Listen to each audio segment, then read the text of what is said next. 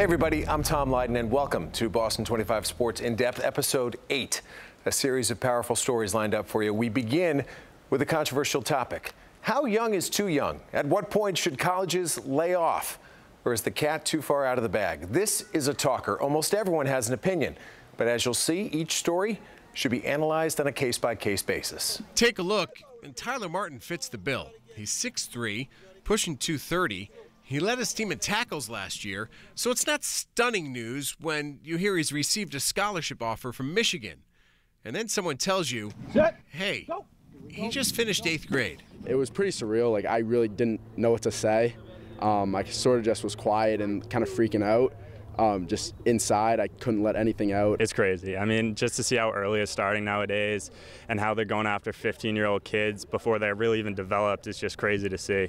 It is a little crazy, and it didn't stop at Michigan, since he's received another offer from UMass. For a young guy, you get a little concerned because with a lot of these young guys, they get the D1 offer and they think their work is done. Yes, there are questions and concerns about the ultra early commitment from a university that we can debate, but in this specific case, the people surrounding Martin know what Michigan saw, and they won't be alone. I've actually worked out with him a couple times and super excited for him. I know he works hard and he's a hardworking kid. So I would guess no surprise to you then when you know his physical talent. No, there's no surprise to me. I, he, he's an awesome kid. Great, great athlete. I was super excited for him. Like uh, any Mass kid getting an offer, that's great.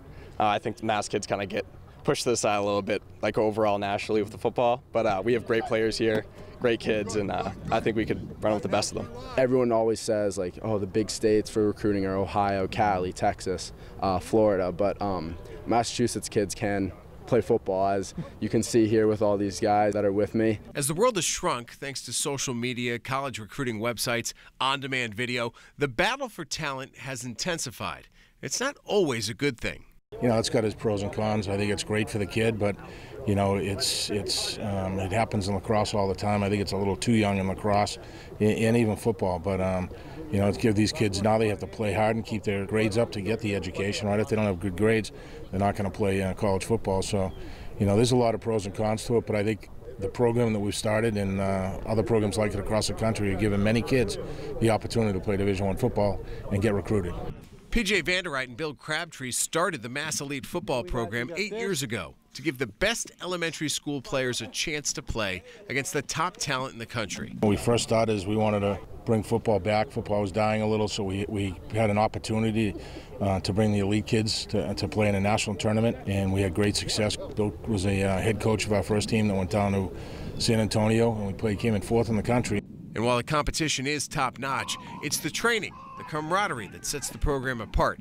Makes a huge difference to kids who've made the commitment to be the best of the best. Well, I've been doing it since um, sixth grade, and I mean, it's just helped me throughout the whole process. I've been doing it since I'm about 10 years old, so um, I feel like just everything and where I've gotten to and what I've done has um, massively just had a major part in it. It created a lot of opportunities. Like, if, if I didn't picked Mass Elite to play on the team, I don't think I would have been here. Perfect. Back to Martin, who now starts his freshman year, and fortunate to be part of a fraternity of players who've been through exactly what he's experiencing. The advice that they give me is like, just don't like be complacent with where I'm at. Like, don't settle for Michigan and UMass. Keep working, and I try to do that every single day. Everything's going to change when uh, I hit the upper school, but um, I'm really looking forward to just meeting new people. Um, at BBN, our new freshman classes, we added about like 40, 45 kids. So I'm gonna meet a lot more kids and have some new friends and uh, be able to be with my teammates for the entire day, which is fun.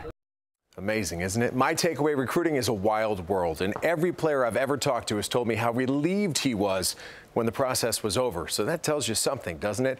Maybe there should be a minimum age requirement for an athlete to be offered a scholarship. The teenage years are challenging enough without the stress and distraction of recruiting, but on the other side, these guys love the attention. And in the end, if they don't focus, if they don't succeed in school, the offer goes away.